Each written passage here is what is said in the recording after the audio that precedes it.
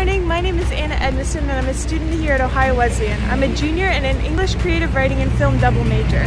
This semester I'm participating in the New York Arts program. Let me take you along uh, to show you a day in my life.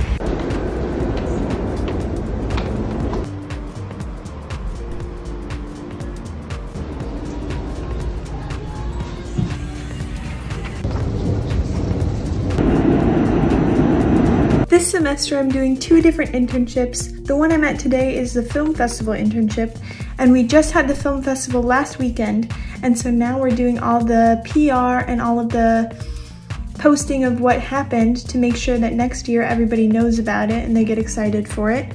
Um, and my other internship is with PEN America. And for them, I'm doing a lot of their literary award stuff. And it's really exciting to be able to see what books are getting chosen for these literary awards, um, but it's top secret information, so I can't tell you.